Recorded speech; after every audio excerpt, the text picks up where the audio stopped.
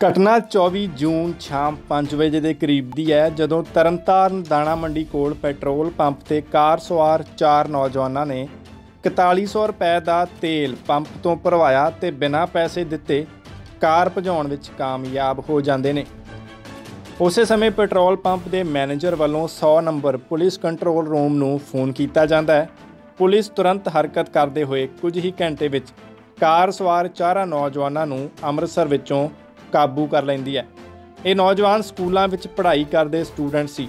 ਤਾਂ ਪੁਲਿਸ ਨੇ ਇੱਕ ਵੱਖਰੀ ਮਿਸਾਲ ਪੇਸ਼ ਕਰਦੇ ਹੋਏ ਇਹਨਾਂ ਨੌਜਵਾਨਾਂ ਦਾ ਪੰਪ ਮਾਲਕ ਦੇ ਨਾਲ ਰਾਜੀਨਾਮਾ ਕਰਵਾਇਆ।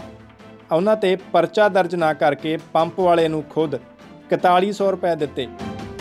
ਅਤੇ ਇਹ ਨੌਜਵਾਨ ਕਹਿ ਸਕਦੇ ਹਾਂ ਕਿ ਸਜ਼ਾ ਵਜੋਂ ਹੁਣ ਅੰਮ੍ਰਿਤਸਰ ਵਿੱਚ ਗੁਰਦੁਆਰਾ ਸ਼ਹੀਦ ਬਾਬਾ ਦੀਪ ਸਿੰਘ ਗੁਰਦੁਆਰਾ ਅਤੇ ਸ੍ਰੀ ਦਰਬਾਰ ਸਾਹਿਬ ਦੇ ਲੰਗਰਾਂ ਦੇ ਵਿੱਚ ਇੱਕ ਹਫ਼ਤੇ ਲਈ ਸੇਵਾ ਕਰਨਗੇ।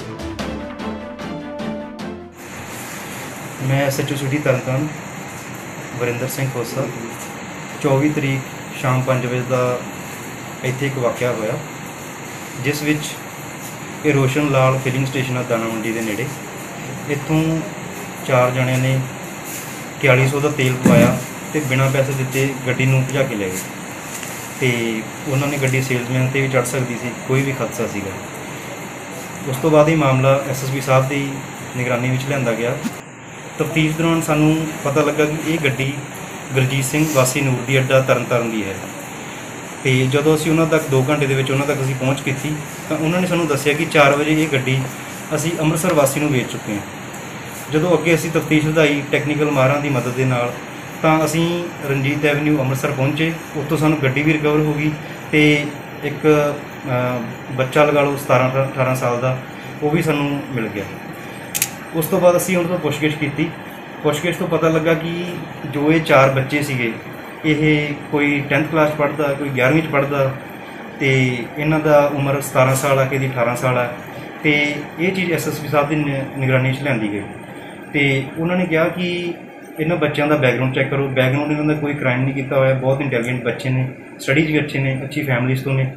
ਤਾਂ ਕਰਕੇ ਐਸਐਸਪੀ ਸਾਹਿਬ ਨੇ ਇਹਨਾਂ ਦੇ ਫਿਊਚਰ ਦੇ ਧਿਆਨ ਦੇ ਵਿੱਚ ਰੱਖਦੇ ਹੋਏ ਇਹਨਾਂ ਤੇ ਕੋਈ ਕਾਰਵਾਈ ਨਹੀਂ ਕੀਤੀ। ਇਹਨਾਂ ਤੋਂ ਅਸੀਂ ਇੱਕ ਤਾਂ ਮਾਫੀਨਾਮਾ ਲਿਖਵਾਇਆ ਕਿ ਇਹ ਮਾਫੀ ਮੰਗਣਗੇ, ਜੋ ਫਿਲਿੰਗ ਸਟੇਸ਼ਨ ਤੋਂ ਤੇਲ ਪਵਾ ਕੇ 4100 ਦਾ 4100 ਰੁਪਏ ਵਾਪਸ ਕਰਨਗੇ। ਤੇ ਉਸ ਤੋਂ ਬਾਅਦ ਇਹਨਾਂ ਦੀ ਇੱਕ ਹਫਤਾ ਗੁਰਦੁਆਰਾ ਸਾਹਿਬ ਅੰਮ੍ਰਿਤਸਰ ਵਿਖੇ ਸੇਵਾ ਲਗਾਈ ਗਈ ਹੈ। ਤੇ ਤੀਸਰਾ, ਇਹਨਾਂ ਤੋਂ ਲਿਖਵਾਇਆ ਗਿਆ ਕਿ ਅੱਗੇ ਤੋਂ ਇਸ ਚੀਜ਼ ਕਿਸੇ ਵੀ ਇਸ ਤਰ੍ਹਾਂ ਦੀ ਕਾਰਵਾਈ ਜਾਂ ਕਾਰਨਾਮੇ ਵਿੱਚ ਨਹੀਂ ਪੈਣਗੇ।